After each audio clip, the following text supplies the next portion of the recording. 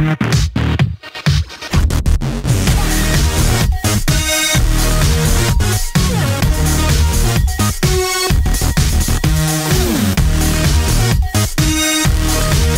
it's time for my next trick. Let's go!